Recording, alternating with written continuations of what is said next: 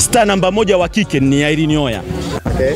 Before ilikuwa Wema Sepetu, sasa hivi amedrop kwa sababu tunaona anaposti hadi waganga. Sasa hivi amedrop, kashuka hadi Hamisa amechukua nafasi ya Wema. Okay. Sijui unanielewa? Yeah. Kwa hiyo Irene ni namba moja kwa matumizi, kwa uzuri, kipesa, usta, anaishi maisha ya kistaa.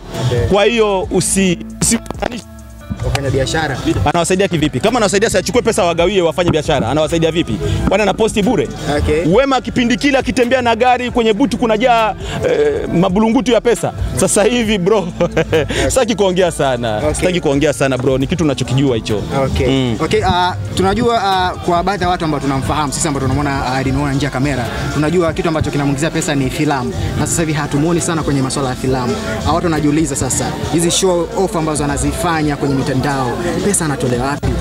Irene Uwoya filamu inampa pesa. Irene Uwoya ni mfanyabiashara, na ikumbuke kama Irene Uwoya ni familia bora baba mama ni familia bora, alafu isitoshe Irene Uwoya ni mzuri hata akiwa na boyfriend kwa kumpa pesa, unampa pesa yani inakuwa ikuumi, kwa sababu mwenyewe unaona ni piskali piskali kabisa. Kwa hiyo matumizi ya pesa ya Irene Uwoya yanamfaa. Okay. Yes. Okay, moja kitu ambacho kinaongelewa sasa hivi kwenye mitandao ya kijamii ni kuhusiana na Diamond Platnumz, uh, baadhi ya watu kutokuwa na, na tunasemaje na, na support kwake uh, na moja watu ambao haonyeshi kabisa support kwa Diamond ni, ni Mwijaku ambaye amekuwa aki- aki- aki- akimpigania Burna Boy. Uh, komenti yako kuhusiana na Mwijaku kupambania upande wa Burna Boy ni ipi? Naomba labda niwaambie kitu kimoja. Mwijaku sio kama namchukia Diamond. Huwa mimi naongea na Mwijaku. Mwijaku amchukii Diamond hata kidogo. Mwijaku anamkubali Diamond.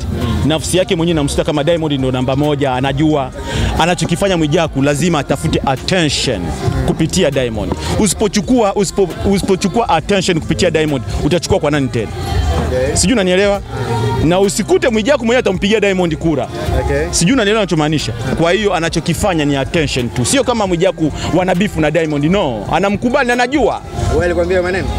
Bro. Mimi nakwambia wewe, na- nakaa na Mwijaku. Mwijaku mwenyewe anakwambia sitaki kuongea sana bro. Diamond Simba atabaki kuwa Simba, lakini ninachokifanya eh, mwenyewe natafuta ugali wangu. Sio kama Mwijaku anamchukia Diamond, hapana. Mwijaku ana tatizo. Ingekuwa anamchukia Diamond, yani ule kutoka kabisa, kutoka moyoni, mimi mwenyewe nisinge kwa karibu na Mwijaku. Okay. Niko karibu naye kwa sababu naongea naye kwa sababu najua kabisa anachokifanya ni maigizo tu, ni kutafuta attention, maisha yake afanye nini, yaende.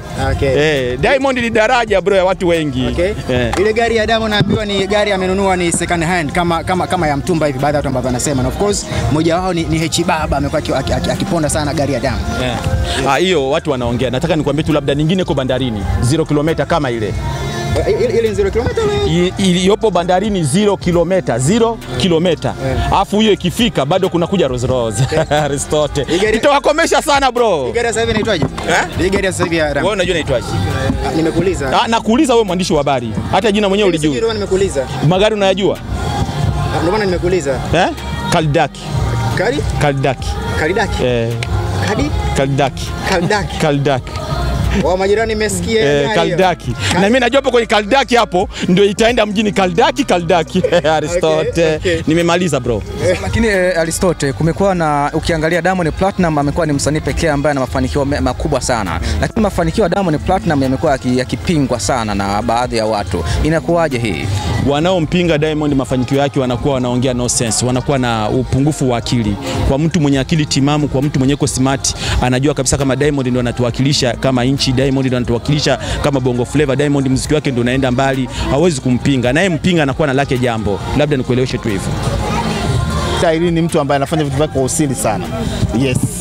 Unadhani kwa nini imekuwa kwa tofauti? Yaani Irene Uwoya shughuli zake huwezi kufananisha eh, na mastaa wengine wa kike kama Ezekiel eh, kama anavyofanya Wema Sepetu, kama anavyofanya Elizabeth Michael. Unadhani kwa nini No. kwa Irene Uwoya inakuwa ni kwa ukubwa sana? No, no, no. Si kwamba wale wengine wameshindwa kufanya kama anavyofanya Irene. Kila mtu ana protocol zake, labda kila mtu ana majukumu yake, anazungukwa na watu wangapi, kwa familia.